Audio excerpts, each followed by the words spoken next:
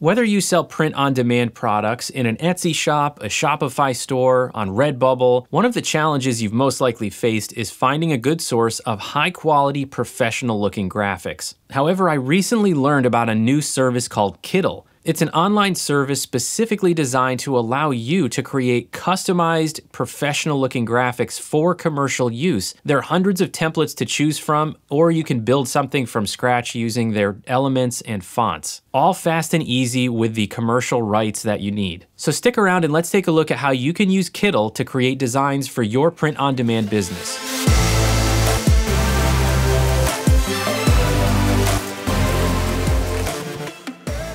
Hey everybody, Jeff here for POD Insights, the YouTube channel and podcast. Don't forget to follow me on Twitter at POD underscore insights. And while we're thinking about it, don't forget to hit that subscribe button so you can get notified of future POD Insights videos.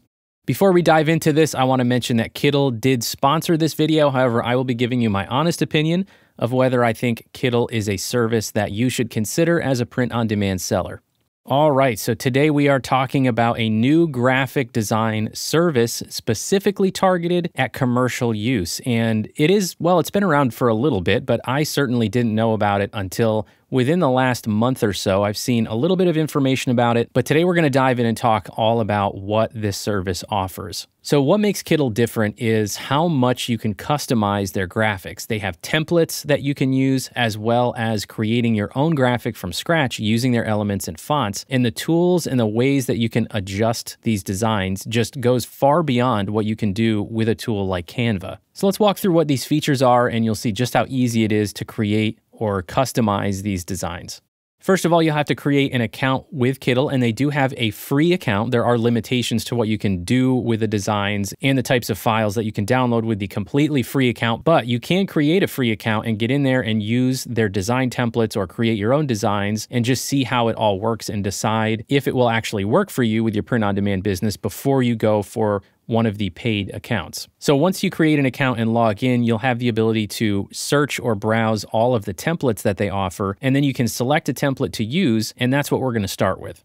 Right on the main login page, you'll see all of their templates, which have different categories. You can create logos using their templates. You can create labels, t shirts, posters, cards, and social media posts. So there are multiple uses for Kittl. It's not just all about creating designs that you would use on t shirts or apparel or other print on demand products. You can also create social media posts and logos for your brand. But let's take a look at some of the t-shirt templates that are here. There are a lot of different templates available that kind of follow very classic print on demand styles, such as the sort of vintage sunset style graphic here, this tropical sunset one. We're going to use that one in just a second, but let's just take a look at what some of these are. Now, there are hundreds of templates here available. Every single piece of these templates that you see, every element of the designs is something that you can edit right here in Kittl's online interface. You don't have to download it and then manipulate it in different software. So let's say that we're looking for a beach themed design and we want a nice professional looking graphic and we just want to create it for the name of a beach town that we found is not trademarked and we think there's good demand for. So this tropical sunset one looks pretty good. However, the beach that I am thinking of is more of an East Coast beach. It's not going to have palm trees or anything in it, but that doesn't mean we can't use this template. So let's click on this template and then let's select use this design. This is going to open up a new project for you, which is basically just a new file. Now, one thing you're going to want to do first, if you are creating this for a t-shirt, is go to the settings gear and then change the artboard size or dimensions. The artboard is just basically the canvas that you're working on, and you can change it to custom dimensions. Now, this one is preset to millimeters. We're going to change it to pixels, and then we're going to change this to the size that we want. So we'll change those dimensions and then hit confirm, and that's going to make our artboard much bigger and the graphic much smaller. So we need to scale that graphic up, just click and drag to select all the elements of that design template and then drag to maximize the size of your new artboard. And now we're ready to edit. So what we don't want, I don't really want these palm trees in here because this design I'm thinking of, or the one that I've sort of discovered I want to create, is going to be the name of a beach that's more East Coast or New England kind of in the United States Those beaches don't have palm trees, so I want to replace those with something else. So all I have to do is click on anywhere in the design, and then I'm going to ungroup. And I'm, to do that, I'm just going to right click and go to ungroup. So that ungroups all these individual elements. Now I can click on the individual palm trees and just delete them. And I'm going to look for an element to replace that's more fitting for the type of beach design that I'm making. To do that, I'm going to look over on the left side of the screen where you've got your little tray of different commands. And so if you mouse over to that, you'll see My Projects, Designs, text, elements, uploads, photos, and textures. So what we're going to do is go to elements. And then for this one, I'm thinking a nice lighthouse might be nice. So I'm going to search for lighthouse. I'm thinking I might like this one here. However, as you can see, it doesn't really fit the theme of the rest of this design. I'm going to cover up this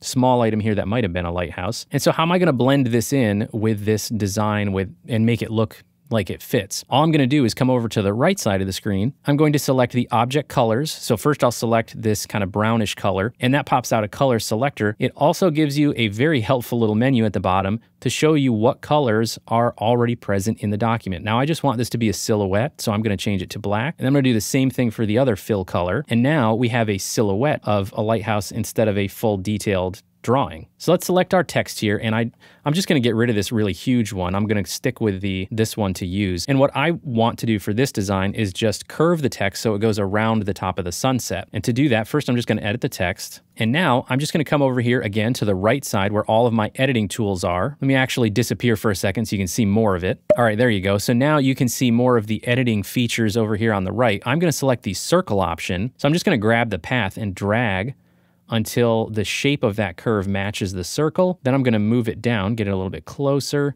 until it looks like it's right where I want it. There we go. Now here's another adjustment you can make. You can change the, the letter spacing. So if I want this to be spaced out a little bit more, now I'm gonna get rid of this bottom text and I'm gonna bring this smaller text up in here. All right, there we go. And I'm done. This is the design that I had pictured in my head that I wanted to create. Now we're ready to export it. So to download this, all we need to do is come over here to the download in the top right corner, click on that, and this is where we have more control over the file export. So what you're gonna wanna do is take a look at the DPI field and change that to 300. Once we do that, it does alter the dimensions just a little bit. So go ahead and change it back to what you wanted there. So now we're good. We got 300 DPI with the right size. We can go ahead and download this as a PNG, or if you have one of the paid accounts, you can also export this as an SVG. So if you're using a platform like Printify for your print on demand shop that supports using SVG graphics, you can export this as an SVG and then have one file.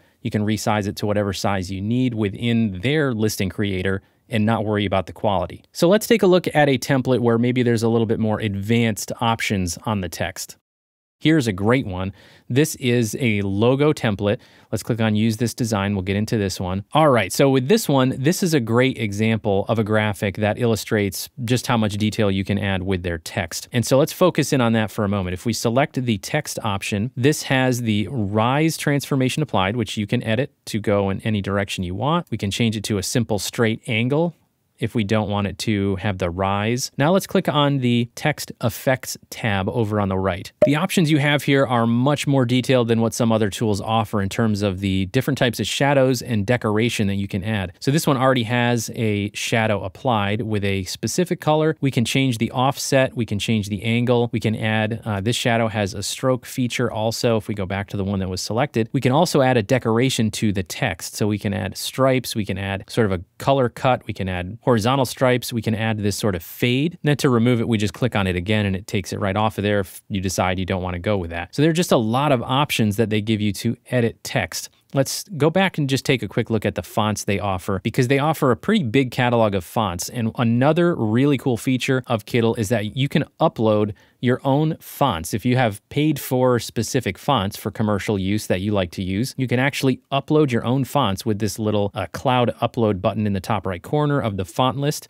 Now let's take a quick look at how I made this design from scratch using the available elements. First, we would just click on New Project. Instead of selecting a template, that'll bring us to a brand new artboard. We will first resize, and then we will change the background color to black. You can always hide the background, or you can change it to a different color, whatever helps you see the design best that you're working on, just like you can in any other software. And you do that by expanding the layers option that is completely behind my head right now. In the bottom right corner, there's a little layers menu that allows you to hide or rearrange the different layers, just like in Photoshop. So first, let's find the elements that we want to use. I'm going to start with those crossbones. And to find those, I'm going to come back over to the left side here where our elements are. We're going to click on that and we're just going to search bones. So I'm going to scroll until I find what I want here. So here's those crossbones that I liked. I'm going to change this object color. Now let's find the banner that we used. All right, here's a banner that I like, but the arch is going up and I want it going down. So let's just right click on it and do flip vertical to get it facing the other way. That's looking pretty good. Now let's place the skull. Now this one's actually in two pieces. I actually did this one with just this top and this bottom part of the skull. So we need to resize these. And we also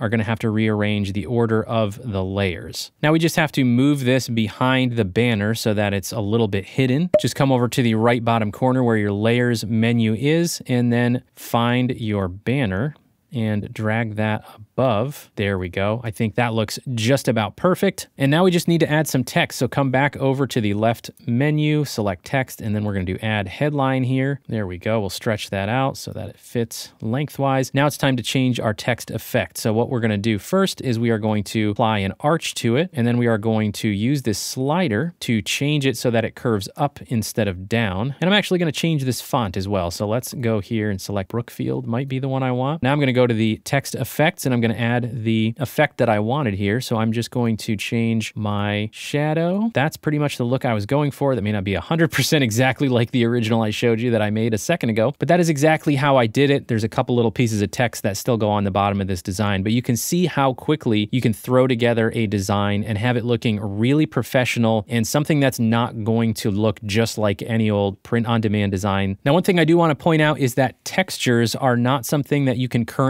mask or clip onto individual layers or individual elements within the tool yet. That is a feature that is coming. So let me just show you what that'll look like. If you come down on the left menu to the textures option, there are a lot of grunge textures, paper textures, pattern textures that you can apply. So let's apply a grunge texture here. There we go. So now we have a texture and that looks great, but it is applied to the entire layer over everything, unfortunately. So what that means is when we do get rid of the background, that texture, that grunge effect is going to be visible. So once they have the feature enabled where you can apply this texture as a clipping mask to the layers beneath it or to an individual element, you will be able to export your design with the texture only applied to the design and still have the transparent background. But for now, we would have to disable or hide this texture layer before we export the file to get the transparent background.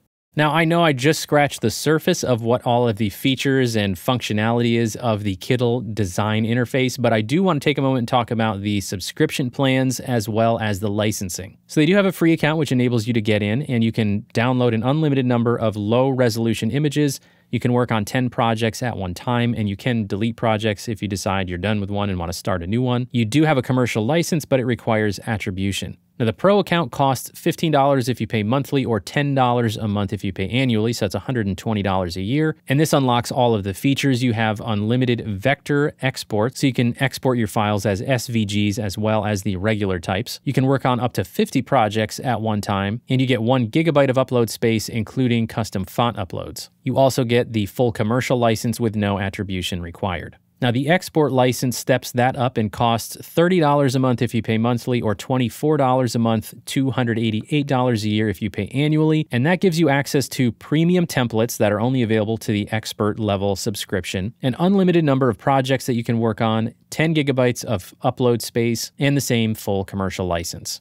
Now let's talk about that commercial license from Kittl, what you can do with the graphics you download and what you cannot do. Let's start with what you cannot do. So you can't redistribute, sublicense, or share the source files. You cannot make your designs available for download on other platforms than Kittl. You can't resell your designs as stock material. So the prohibited use pretty much aligns with a lot of other platforms like Canva as far as what you can and cannot do with their graphics. However, if we move over to what you can do, you can use the designs for personal, commercial, or commissioned projects. You can use them on physical end products for sale, and that's where it applies to us as print on demand sellers. So, with this license, you've got everything you need to create designs for print on demand purposes.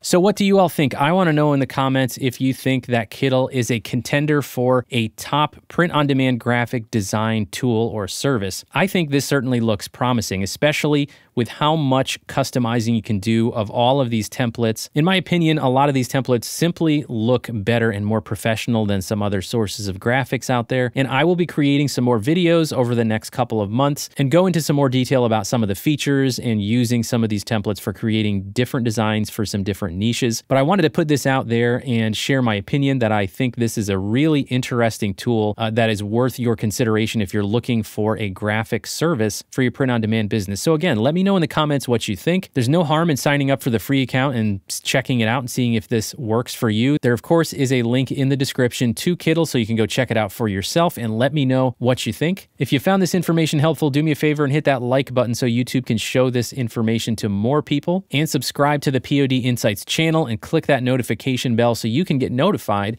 when I release more videos about using Kittl for print on demand designs. Thanks, everybody. See you next time.